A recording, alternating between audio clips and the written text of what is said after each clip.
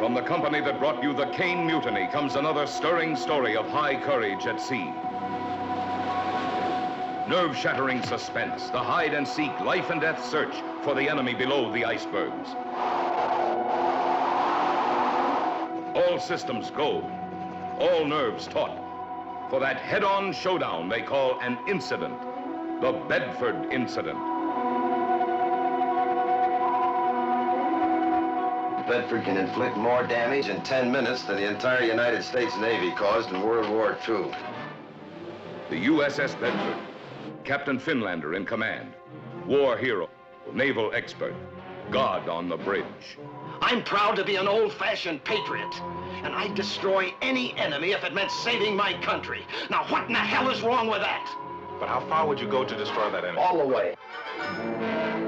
Munceford, the correspondent who had covered all kinds of stories, but none like this.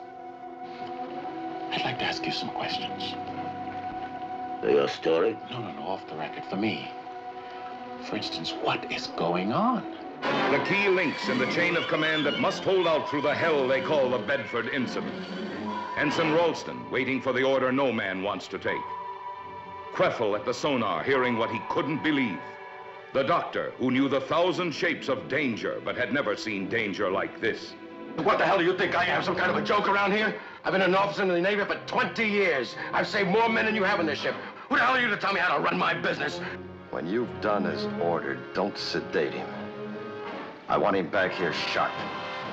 And the observer, one-time enemy, now alleged a lie. A German commander in the free world's high command. You are in the power here, Eric. It is not a force. It is just you. You mean you're trying to say that uh, you consider me desperate? No, Captain. To be frank, I consider you frightening. Port lookout. Snorkel broad on the port bow. Range about 800 yards. Sound general quarters. All engines ahead, two-thirds. Snorkel bearing 090. Head directly for the snorkel.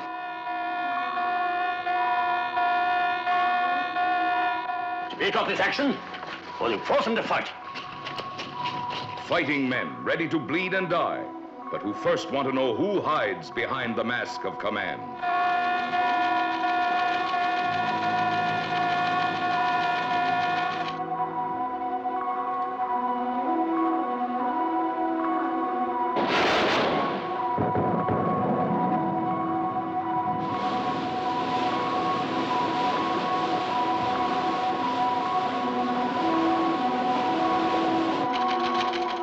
It's not an incident.